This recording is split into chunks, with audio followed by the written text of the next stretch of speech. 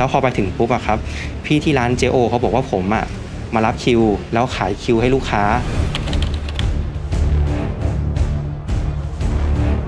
เปิดกล้องดูได้เลย ลูกค้ามานั่งตรงนี้ รอตรงเนี้ยชั่วโมงกว่าจริงไหม ถ้าไม่จริง ผมกับลูกค้ายินดีกลับเลยไม่ทาน พูดว่าคนเปิดเปิดกล้องไม่อยู่ เขาก็ยกมือขึ้นมาจะตบลูกค้าผม แล้วก็บอกว่าอีหานี่ ราม่าในโลกออนไลน์ค่ะ เมื่อไกด์หนุ่มพาลูกค้ามาทานที่ร้านอาหารชื่อดังย่านบรรทัดทอง แต่เจอเจ้าที่ในร้านง้างมือจะตบ ส่วนสาเหตุจะเป็นอะไรติดตามได้ในข่าวสดจุดเกิดเหตุวันนี้ค่ะ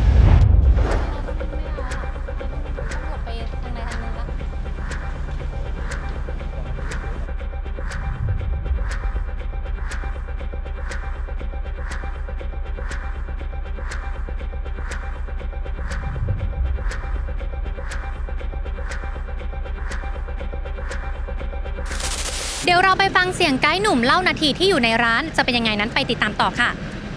วันที่ 18เนี่ยตอนนั้นเนี่ยคือลูกค้าอยู่กับผม 3 ท่าน คือเขาอยู่ที่พารากอน แล้วตัวผมเนี่ยต้องไปรับลูกค้าอีกท่านหนึ่งที่สนามบินสุวรรณภูมิ ทีนี้เนี่ยผมก็เห็นว่าร้านนี้เนี่ยเออมันต้องรอนานใช่ไหมครับผมก็ไม่ทราบกฎกติกาของเขาก็คือว่าผมก็เลยให้พี่คนขับเนี่ยไปเอาคิวไว้ก่อน ได้คิวที่ 106ปุ๊บผมก็รีบไปรับลูกค้าอีก 2 ท่านมา รวมกับที่อยู่พารากอนเป็นเป็น 5 ท่าน เสร็จปุ๊บเนี่ยก็ถึงร้านประมาณตอนหนึ่งทุ่มนะครับคิวมันไปรันไปที่ 180 กว่าแล้ว ผมก็เอาคิว 106 เนี่ยไปให้พี่เขา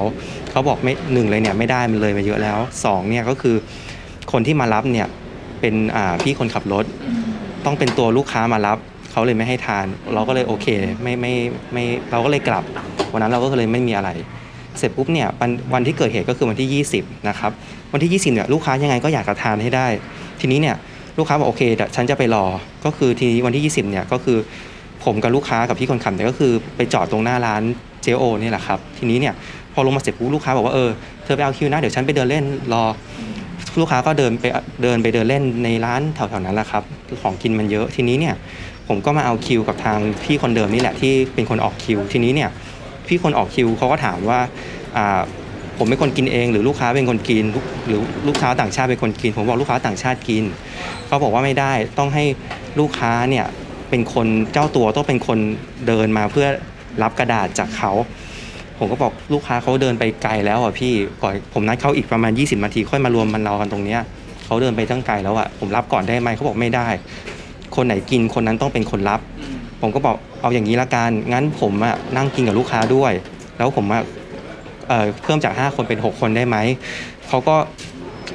นิดนึงแล้วเขาก็บอกเออได้เขาก็เขียนเป็น 6 คนให้ได้บัตรคิวที่หมายเลข 222 222 พอดี ทีนี้เนี่ยจาก6โมง50เนี่ยรอจนถึง2ทุ่ม10นะครับ2ทุ่ม10เนี่ยก็คือถึงคิวที่หมายเลข 222 แล้ว ทีนี้เนี่ยผมกับลูกค้าเนี่ยรวมรวมผมด้วยนะครับ ก็คือ 6 ท่านเนี่ยเดินเข้าไปในในร้านเนี่ยอยู่ในห้องแอร์ปุ๊บลูกค้าก็สั่งอาหารอะไรใกล้จะเสร็จแล้วล่ะ ผมเราลูกค้าให้ผมอยากลูกค้าเขาอยากทานขนมปังหนึ่งนมวัว ไปซื้อหลังจากนั้นได้ประมาณ 20นาทีระหว่างที่ผมอยู่ร้านหนึ่งนมวัวครับลูกค้าเขาก็พิมพ์ข้อความมาบอกว่าเออเธอกลับมาด่วนเลย เขาไม่ลงอาหารให้ฉัน แล้วก็เขาไม่ให้ฉันกินเขาจะไล่ไล่ฉันออกมาจากร้าน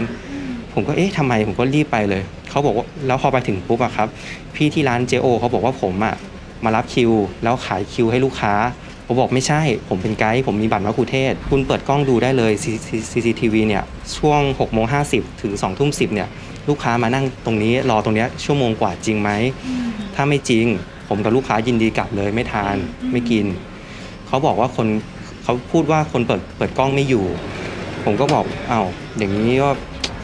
เราก็รู้สึกว่าเราก็รอจริง ๆ แล้วเราก็ไม่ได้โกหกเขาก็เลยเดินมาเองอะครับผมเป็นลูกค้าผู้หญิงนี่แหละ เดินมาคุยแล้วเขาพูดภาษาอังกฤษกับอ่า ทางเถ้าแก่ที่เป็นเจ้าของเนี่ยครับแต่ผมไม่น่ผมไม่ทราบว่าเขาอาจจะฟังไม่ออกหรือว่าอะไรหรือเปล่าเขาก็ยกมือยกมือขึ้นมาจะตบลูกค้าผม แล้วก็บอกว่าอีห่านี่อะไรอย่างเงี้ยเรียกตำรวจเดี๋ยวเรียกปอลิฟเขาใช้ว่าปอลิฟปอลิฟเป็นภาษาจีนแต้จิ๋วแปลว่าตำรวจ เรียกปอลิฟมามามาลากออกมาลากตัวออกไปประมาณเนี้ยผมก็รู้สึกไม่ค่อยดีอย่างเงี้ยลูกค้าเขาเขาก็ตกใจทำไมต้องต้องขนาดนี้ ลูกค้าเลยบอกว่าฉันไม่กินแล้ว ฉันก็เลยกลับแสดง ตอนที่สั่งอาหารเขาจ้องโต๊ะเราตลอดเลยเหรอถ้าอย่างนั้นถูนะกต้องเพราะว่าเข้าไปสั่งอาหารเสร็จปุ๊บพี่ก็แค่ออกมาซื้อของแล้วเดี๋ยวจะกลับเข้าไปกินถูกต้องไหมถูกต้องถูกต้องอ๋อแสดงว่าเขาก็จ้องโต๊ะเรา ใช่ใช่อืมใช่ครับแล้วอย่างนี้เขาจะสามารถพูดได้ไหมคะว่าเราอาจจะไม่ได้ทำตามกติกาหรืออะไรอย่างเงี้ยคืออย่างนั้นเลยผมก็มองว่าโอเคแต่ว่า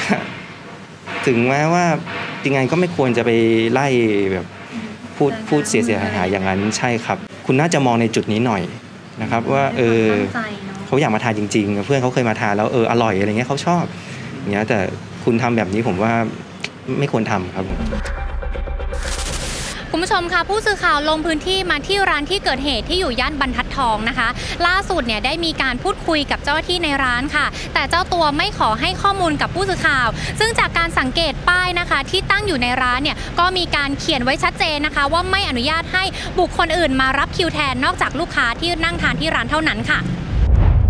จากดราม่าดังกล่าว ผู้สื่อข่าวรายงานว่า ชาวเน็ตมีการตั้งข้อสังเกต ถึงการรุกล้ำใช้พื้นที่ทางเท้า ซึ่งเป็นพื้นที่สาธารณะ จนทำให้ประชาชนไม่สามารถเดินผ่านได้อย่างสะดวก ซึ่งจากการลงพื้นที่สำรวจหน้าร้านเจโอพบพนักงานของร้านกำลังตั้งโต๊ะอาหารอยู่ริมฟุตบาท แต่ก็ได้มีเจ้าหน้าที่เทศกิจได้เข้ามาให้ย้ายโต๊ะดังกล่าวออกไป เนื่องจากบริเวณดังกล่าวเป็นทางที่ให้ประชาชนใช้สัญจร ไม่สามารถตั้งโต๊ะให้บริการได้ ขณะเดียวกันนางสาวสุขวิชยาณสมทรง ผู้อำนวยการเขตปทุุมวัน เปิดเผยว่าบริเวณถนนบรรทัดทอง มีร้านอาหารชื่อดัง และมีนักท่องเที่ยวต่างเดินทางกันมาจำนวนมาก ในอีกมุมหนึ่ง กลับส่งผลให้เกิดความไม่เป็นระเบียบเรียบร้อย โดยเฉพาะทางเดินเท้าประชาชนไม่สามารถเดินสัญจรไปมาได้อย่างสะดวก เพราะร้านอาหารมีการตั้งวางโต๊ะเก้าอี้ เพื่ออำนวยความสะดวกให้กับลูกค้าทำให้ประชาชนต้องลงมาเดินบนท้องถนน และเสี่ยงอันตรายต่อชีวิตสำนักงานเขตปทุมวันไม่ได้นิ่งนอนใจ โดยเบื้องต้นจะกำหนดพื้นที่อย่างชัดเจน เพื่อไม่ให้ร้านค้านำสิ่งของโต๊ะเก้าอี้ มาตั้งวางรุกล้ำทำให้กีดขวางทางเท้า หากไม่ปฏิบัติตาม จะต้องถูกดำเนินคดีตามพรบรักษาความสะอาด นอกจากนี้ทางเขตเตรียมประชุมกับหน่วยงานที่เกี่ยวข้องในเร็วๆนี้ เพื่อหาแนวทางในการปฏิบัติร่วมกัน ให้เมืองเกิดความเป็นระเบียบเรียบร้อยต่อไปข่าวสดสื่อออนไลน์คุณภาพที่มีผู้ติดตามทางโซเชียลมากที่สุดในประเทศไทยกว่า 20 ล้าน followers อย่าลืมติดตามคลิปดี ๆ สาระความบันเทิง ข่าวด่วนแบบฉับไวกับข่าวสดออนไลน์ได้ทุกช่องทางค่ะ